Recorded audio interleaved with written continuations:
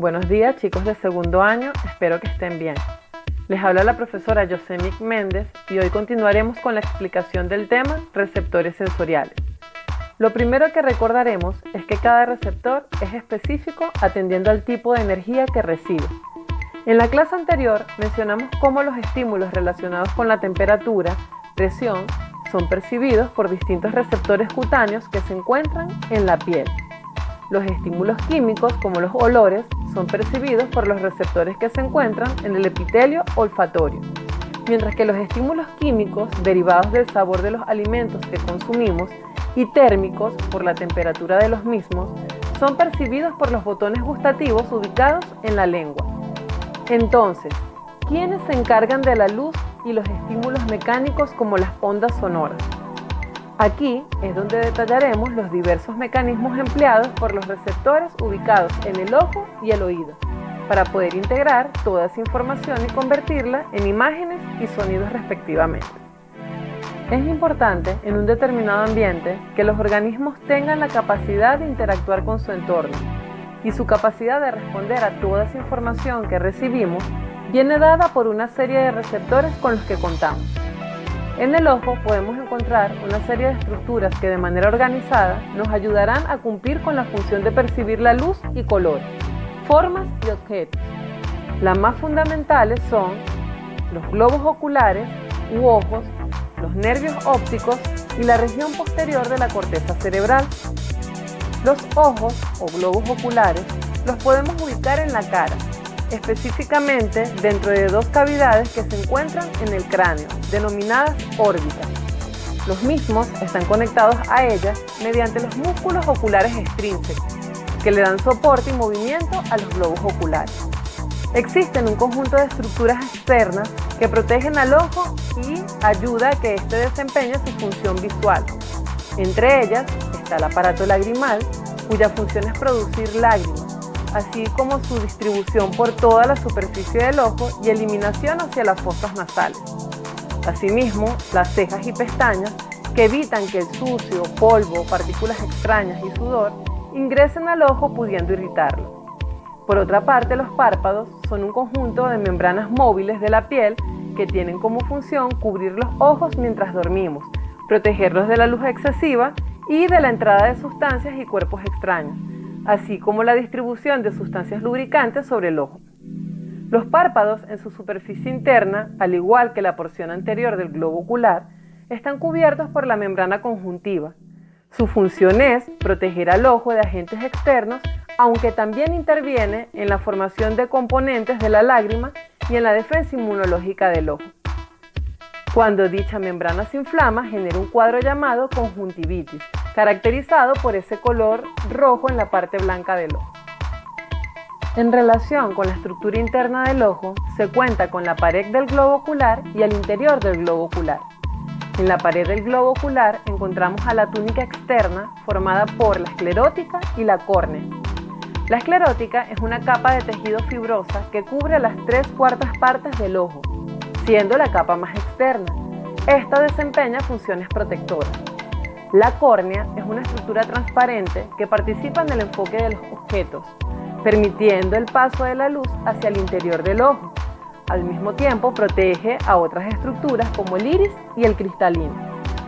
Por otra parte está la túnica media, que contiene al cuerpo ciliar, la coroides y el iris. El cuerpo ciliar está en la región anterior del ojo. Su función tiene que ver con la secreción del humor acuoso, entre sus estructuras encontramos a los músculos ciliares. El iris es una estructura pigmentada que se encarga de darle la coloración al ojo. En su parte central tiene un orificio que puede dilatarse o contraerse, regulando así la cantidad de luz que ingresa al ojo. Este se encuentra unido a la coroides.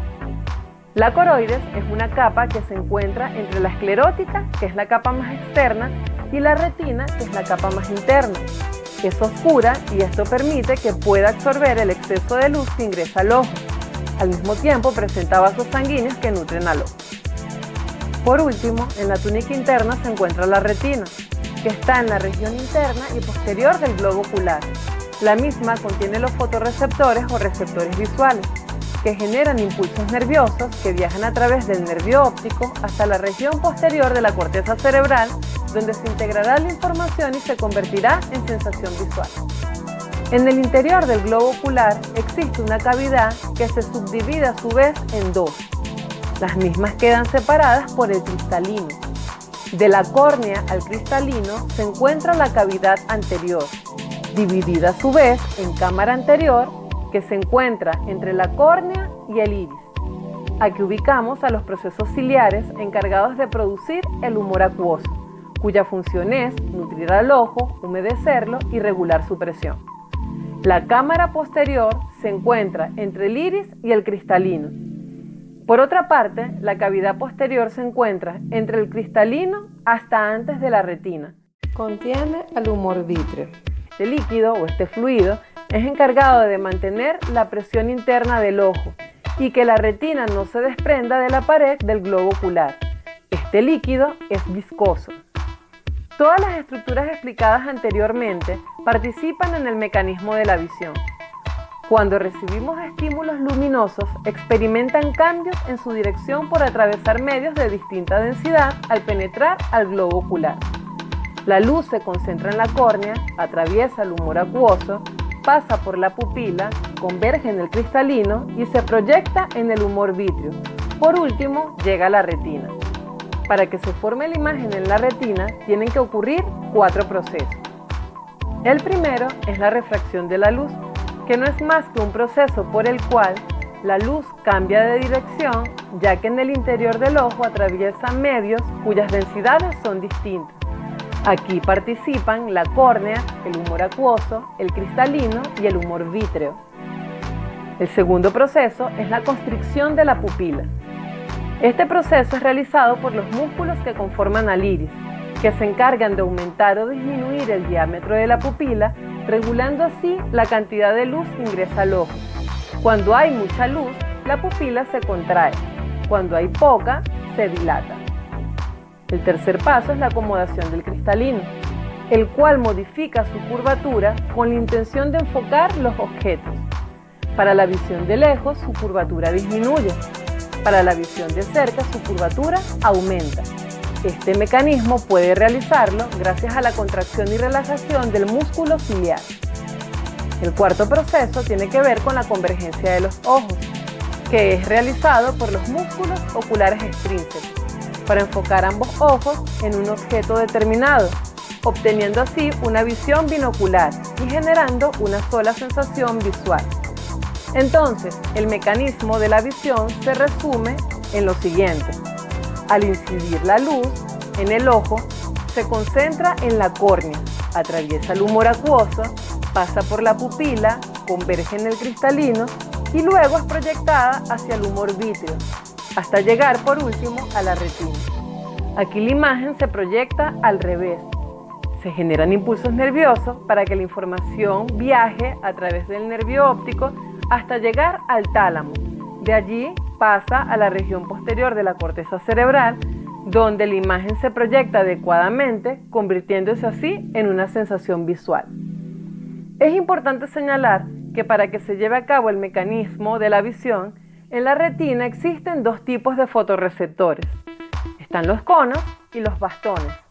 Los conos son los responsables de la visión diurna, mientras que los bastones de la nocturna, gracias a un pigmento denominado rodopsina. Este responde a la luz total, permitiendo ver en blanco, negro o escala de gris. Los conos son menos sensibles a la luz en comparación a los bastones. Existen distintas anomalías de la visión. Entre ellas están la miopía.